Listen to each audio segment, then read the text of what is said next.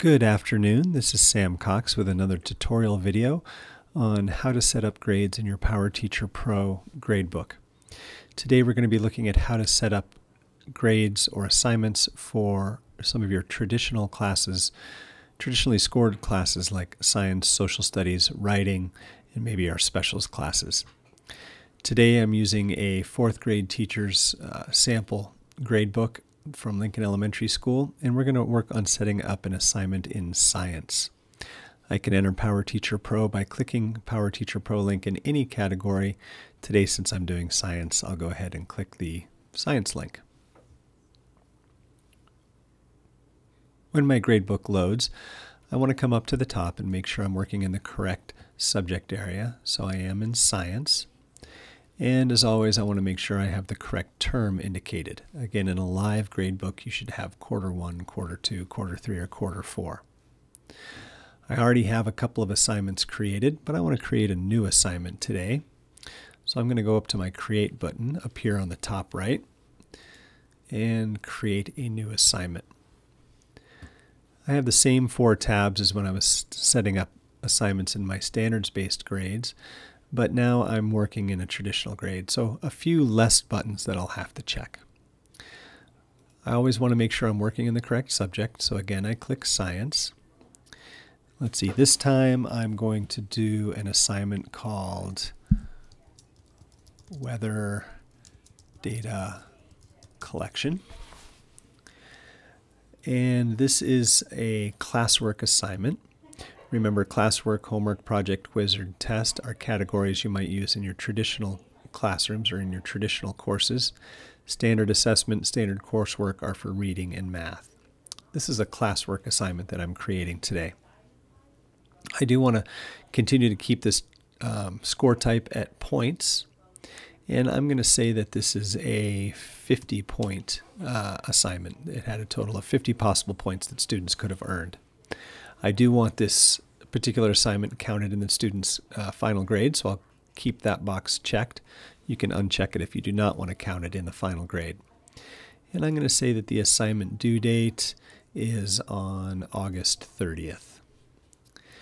Next, I come over to the Students tab, and I can choose if I want to assign this assignment to all of my students, or if I want to add remove students maybe because of special learning needs they're not doing this particular assignment, you could deselect a student. In this example, I'm using all of my students, so I'll keep show selected students, and I won't change anything there. Then I'm going to come over to the Standards tab. Because I'm not working in a standards-based subject like reading and math, you can see that there are no selected standards associated. If I click back and forth between these two tabs, it does not show me any standards. So I don't really have to worry about that tab in our traditional subject areas. Then the Publish tab, here's where I can determine when I want these scores published, if I want it done right away or never or on a particular due date, and I can always check or uncheck the Publish Scores tab. So now I've finished setting up my assignment. I'm ready to save it. Always got to remember to save and close that window. If I'm ready to score the assignment immediately, I can come over here to score assignments, or if I want to do it at a later date, I'll just wait and let that assignment go off. To score this assignment, you can always come to grading and assignment list. That'll take you to this screen. I've already scored my mixtures and scientific method assignments, so now I'm going to score my weather data collection. I'll click that link and it takes me to the score page. Remember this was a 50 point assignment, so I want to make sure I enter scores between 0 and 50. So I'll enter some random scores now.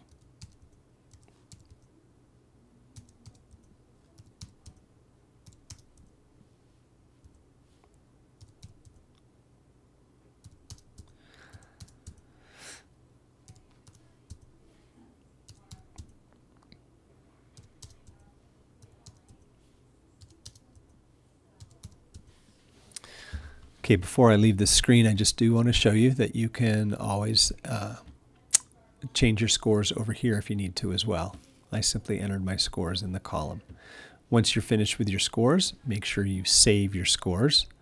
One other thing I do want to show you, if you have other information you want to fill in on your report card, you do have things like missing, incomplete, an exempt assignment, uh, if it was late or if a student was absent. Um, you can also fill scores down the column if you want as well. Save my scores. Tells me that my data was saved. That's good. And I always like to come back to my score sheet and see how my students are doing. Okay, looking at the score sheet, we see all three assignments that I've given so far this quarter. Then we see their cumulative uh, correct number correct over number possible, their current percentage in the class, and their current letter grade in the class. Okay, that's a quick video on how to set up traditional grades.